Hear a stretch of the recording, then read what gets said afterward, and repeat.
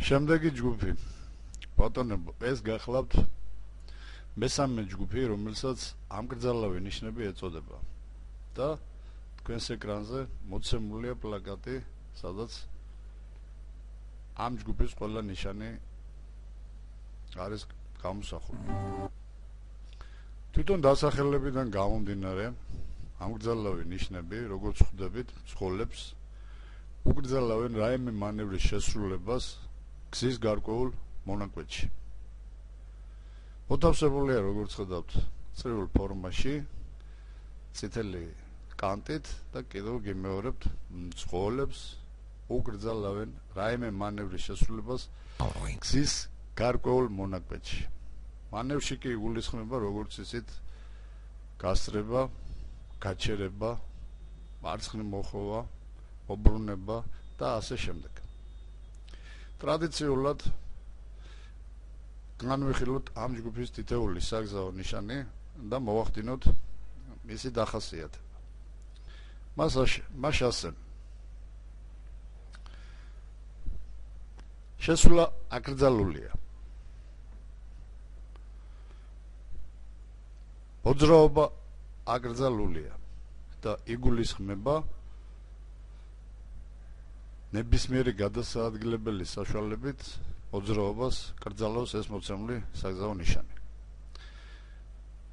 მექანიკურ სატრანსპორტო საშუალებათა მოძრაობა აკრძალულია. გაიხსენეთ თუ რა არის მექანიკური სატრანსპორტო საშუალება და რომელ ავტომობილებს მოისაზრებენ ამ ტერმინის უკან. აი ზუსტად იმ სატრანსპორტო საშუალებებს ეკრძალებათ მოძრაობა.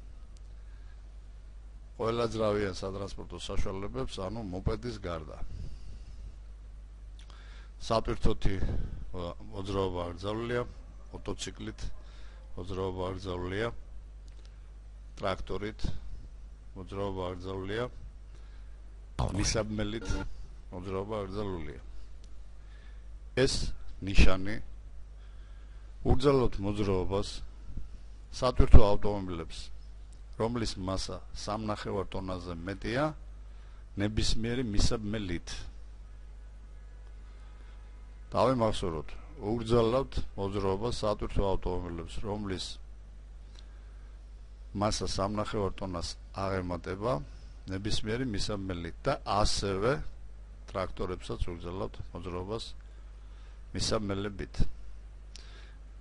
სუბუქი ავტომობილების შესაბამისად სუბუქი მისაბმელით ასე არ ცელდება და ასევე არ ცელდება შეუღლებულ სატრანსპორტო საშუალებებზე რომლებიც მოძრაობენ დადგენილი მარშრუტით. ანუ არ ცელდება საზოგადოებრივ სატრანსპორტო საშუალებებზე. საჭაპანო მოძრაობა აკრძალულია ველოსიპედით მოძრაობა აკრძალულია გადასვლა აკრძალულია ფეხით გადასვლა აკრძალულია წონის შეზღუდვა ანუ თქვენი ავტომობილი თუ არის თვირთიანა 7 ტონა ან მეტი ამ გზის მონაკვეთზე სადაც საგზაო ნიშანი დგას შესვლისა და მოძრაობის უფლება არ აქვს. ღერძზე დატვირთვის შეზღუდვა ასე ქვია ამ საგზაო ნიშანს. თქვენ ეს თემა არ გეხებათ მაგრამ მაინც გაგინმართა თუ რას ნიშნავს ხელზე დატვირთვა. ავტომობილი ავტომობილს როგორც მინიმუმ 2 ღერძი მაინც აქვს. ან შეიძლება ქონდეს 2, 3 და მეტი ღერძი. ახლა როგორ მოდის დატვირთვა თითოეულ ღერძზე? ორ ღერძიან სატრანსპორტო საშუალებაზე. თუ მას უდევს 10 ტონა ტვირთი, მაშინ წინა ღერძზე მოდის ტვირთის 1/13 დატვირთვა, ხოლო უკანა ღერძზე კი მოდის ტვირთის წონის 2/13. დაუშვათ თუ 10 ტონა მე აქვს ორღერძიან სატრანსპორტო საშუალებებს, მაშინ უბრალო არითმეტიკის გამოყენებით შეგვიძლია გამოვთვალოთ, რომ უკანა ღერძზე ამ შემთხვევაში მოდის 6 ტონაზე ცოტა მეტი წონა. ანუ ასეთი სატრანსპორტო საშუალება ამ ნიშნით აღნიშნულ გზის მონაკვეთს ვერ გაივლის. რაც შეეხება სამღერძიან სატრანსპორტო საშუალებას, წონის განაწილება ხდება შემდეგნაირად. თითოეულ ღერძზე 1/13, 1/13, 1/13 და ასე ტრანსპორტს თუნდაც 12 ტონა გადაქონდეს ტვირთი, თუ გამოვითვლით, მაშინ თითოეულ ღერძზე დატვირთა მოდის 4 ტონა და აი ასეთ სამღერძიან სატრანსპორტო საშუალებას, რომელსაც შეიძლება 12 ტონა თვირთი ედოს, შეუძლია გააგრძელოს მოძრაობა. ვინაიდან თითოეულ ღერძზე ამ შემთხვევაში მოდის 4 ტონა. გაბარიტული სიმაღლის შეზღუდვა მიწიდან თვირთის უკანასკნელ წერტილამდე. თუ სიმაღლე აღნიშნულის ტოლია ან მეტი რა თქმა უნდა ასეთი სატრანსპორტო საშუალება ამ ნიშნის ზონაში ვერ გაივლის და ეს ნიშნები იდგმებიან მეძილად ხიდების ქვეშ და გვირაბების წინ და იქვე იქნება მითითებული შემოვლითი გზების მაჩვენებლები რომლებიც საინფორმაციო მაჩვენებელი ნიშნებს განეკუთვნება და მათ თავის დროზე განვიხილავთ. სიგანის შეზღუდვა ანუ გადმოშორილი ტვირთის სიგანე თუ აღნიშნული სტოლია ან მეტია უბრალოდ ასეთ ადგილებში ავტომობილი ვეღარ ვერ გაეტევა. და აქაც მითითებული იქნება ალტერნატიული გზები, ანუ შემოვლითი გზები. ტრანსპორტის სიგრძის შეზღუდვა მთლიანობაში. მთლიანად ტრანსპორტისა. უღელტეხილებზე ჩვენთან არის ძალიან კვადრი მოსახლეები. ამიტომ აღნიშნული სიგრძის სატრანსპორტო საშუალებებს გაუჭირდებათ მანევრირება ანუ მოხოვა. აქედან გამომდინარე ასეთი ზომის სატრანსპორტო საშუალებებს ასეთ გზებზე მოძრაობა ეკრძალებათ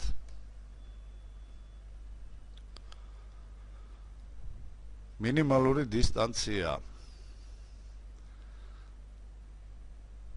და ამ თემაზეც ქონა საუბარი გაიხსენეთ თუ სად რა მანძილით უნდა დავიცვათ დისტანცია ჩვენს წინ მიმავალ სატრანსპორტო საშუალებას შორის. საბაჟო. საშიშროებანი და ეს ნიშანი მუდმივად არსად არ დგას.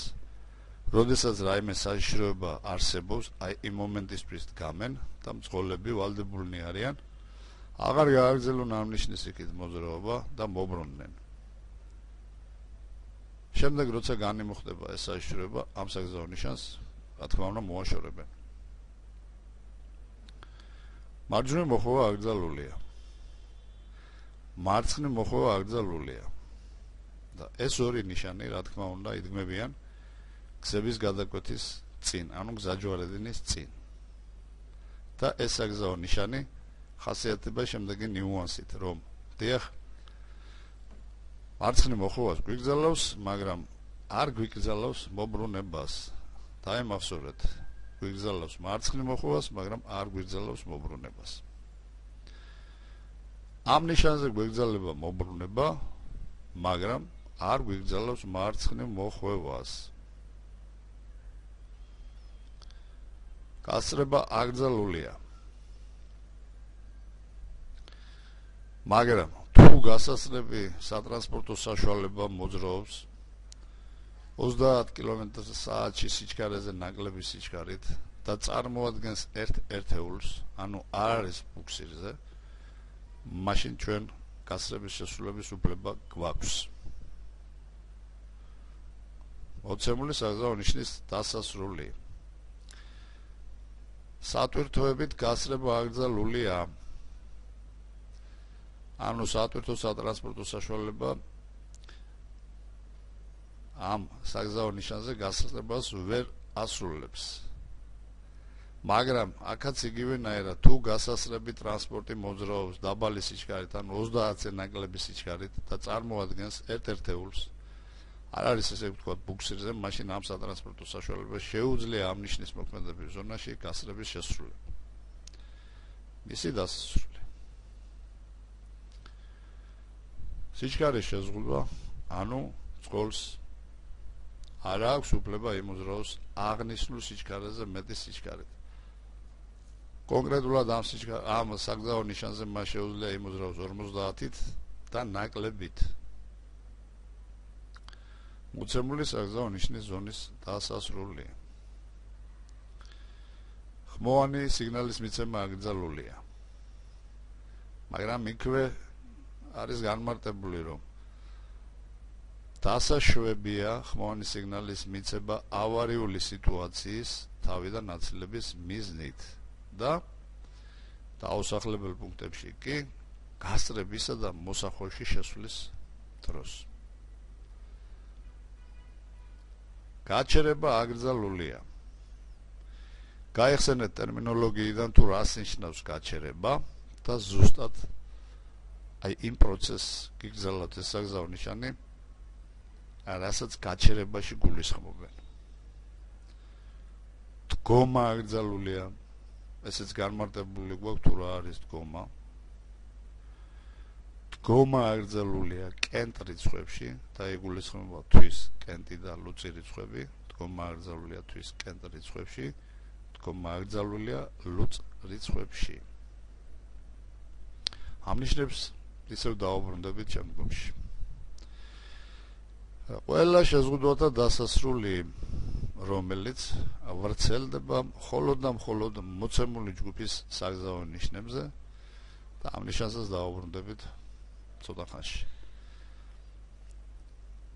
საში ტვირთით მოძრაობა აკრძალულია და საში ტვირთში მოიაზრება შხამქიმიკატები, რადიაციული და ასე შემდეგ. ტვირთი. ეს კი გახლავთ ადვილად აალებადი და ასაფეთქებელი ტვირთით მოძრაობა აკრძალულია. საწვავია ალბათ პირველ რიგში, бенზინი, ხევადი თუ შეგულშული გაზი და ასე შემდეგ ასეთი ტიპის ტვირთის გადამტან ტრანსპორტს ამ ნიშანზე ეკრძალებათ მოძრაობა აი ეს რაც შეეხება საგზაო ნიშნების მოკლე დახასიათება. ეხლა როგორც ვთქვით, ამ საგზაო ნიშნებს დაუბრუნდეთ.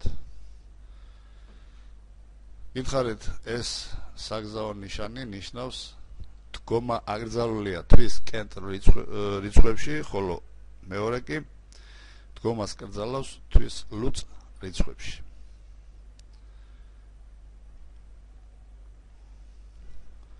თუ ეს საგზაო ნიშანი ან მეორე საგზაო ნიშანი გამოყენებულია ცალკე, ანუ მარტო დგას, ერთ-ერთი დგას აღნიშნულ გზის მონაკვეთზე, მაშინ მათ ძალა აქვთ ხამის 12 საათ, ანუ 24 საათამდე.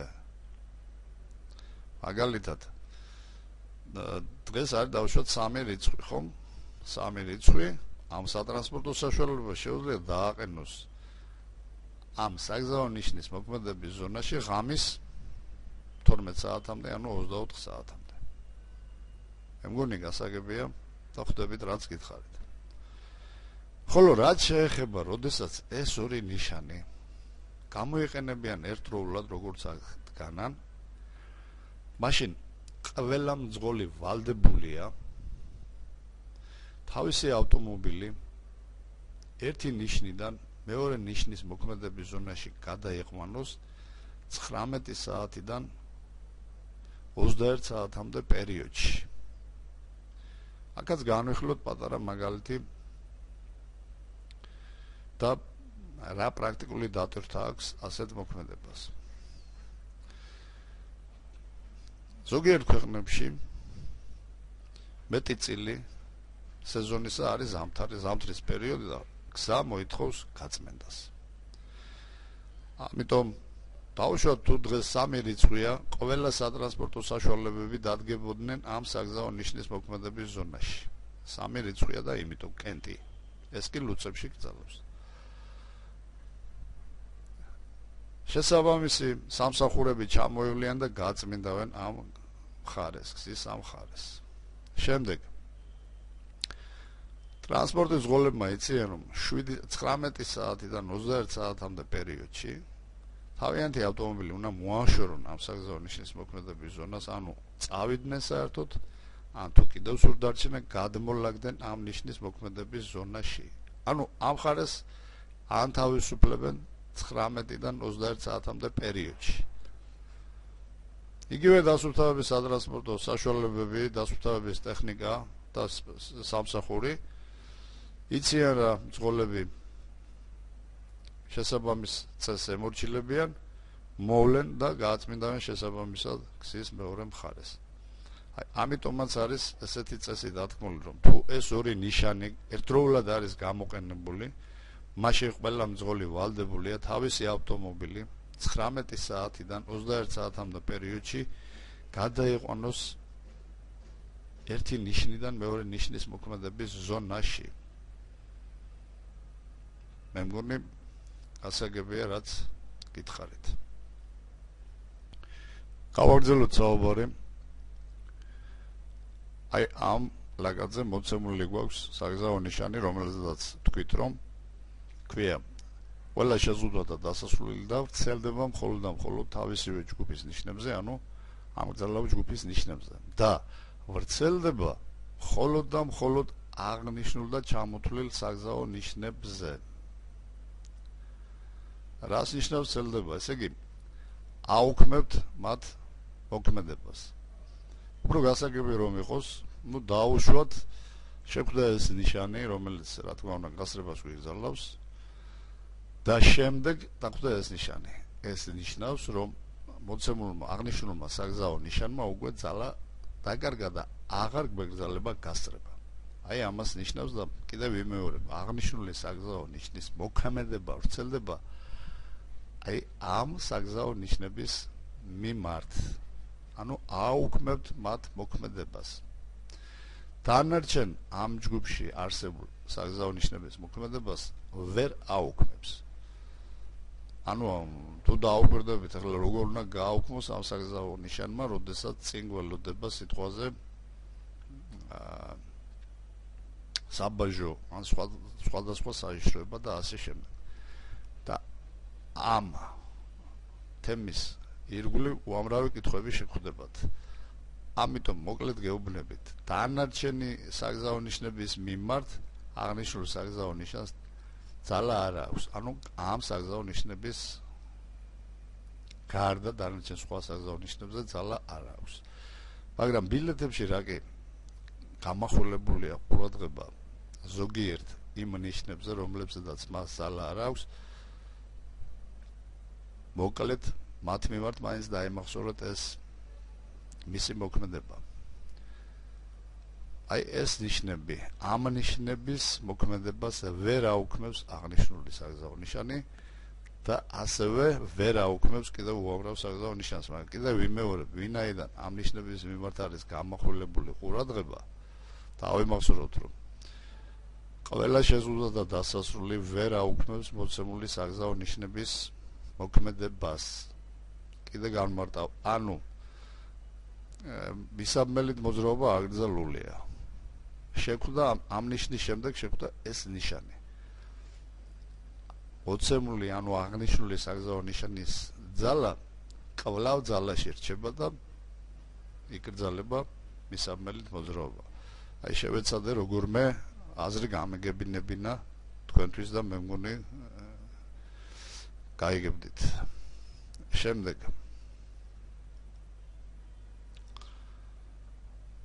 ჩამოთვლილი საგზაო ნიშნების მოქმედება არ ვრცელდება. არ ვრცელდება სატრანსპორტო საშუალებებზე, რომლებიც ემსახურებიან აღნიშნული ნიშნების მოქმედების ზონაში მდებარე საწარმოებს და ობიექტებს. და მცხოვრებზე, რომლებიც ცხოვრობენ ამ ზონაში. ამ ამგზავრ ნიშნებს დაემატათ ეს ნიშანი, რომელსაც ქვია სუბუქი ავტომობილის სამუძრაო გზა, რომელიც მიეკუთვნება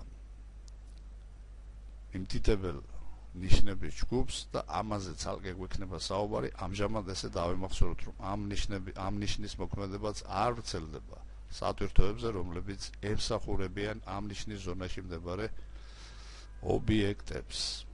ობიექტებს. საგზაო ნიშნების ჩამოთვლას აღარ დავიწყებ ვინაიდან მარტივია.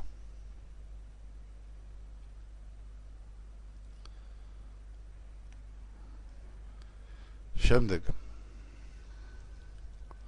დგომა აკრძალულია დგომა აკრძალულია კენდა ლუც რიცხვებში არ ვრცელდება ტაქსებზე მათი მოქმედება არ ვრცელდება ტაქსებზე. აი მახსოვრეთ ესეც.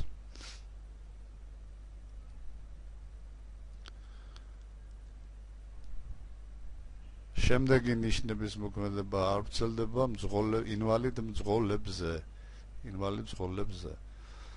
მოძრაობა აკრძალულია მექანიკურ სატრანსპორტო საშუალებათა მოძრაობა აკრძალულია დგომა აკრძალულია დგომა აკრძალულია კენტა ლუც რიცხვებში. ამათი მოქმედება არ ვრცელდება კიდევ ვიმეორებ ინვალიდ მძღოლებზე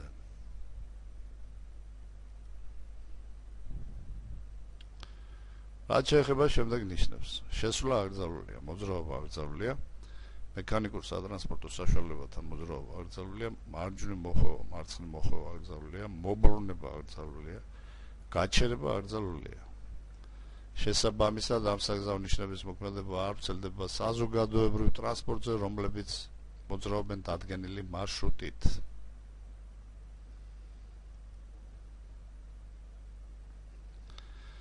რაც შეეხება აღნიშნულ ნიშნებს და ჩამოთვლას აღარ დავეწყებ უნდა ვიცოდეთ რომ ეს აღნიშნული საგზაო ნიშნები მოცემულ გზას კეტავენ ორივე მხრიდან. ანუ ნებისმიერ გზას აქვს ჩიხის გარდა თავი და ბოლო არა? თუ გზის თავში შეხვდა აღნიშნული საგზაო ნიშანი იგივე ნიშანი იდგმება გზის მეორე მხარეს. ანუ ეს ნიშნები გზაზე ქმნიან ჩაკეტილ სივრცეს და ამ გზაზე ვერ შეხვალ ვერც ერთი და ვერც მეორე ხრიდან. ამიტომაცაა დასაშვები ამ საგზაო ნიშნებიდან თუ თქვენ ცხოვრობთ აღნიშნული ნიშნების მოქმედების ზონაში, ამ შემთხვევაში თქვენ შესვლა არ გეგზალებათ.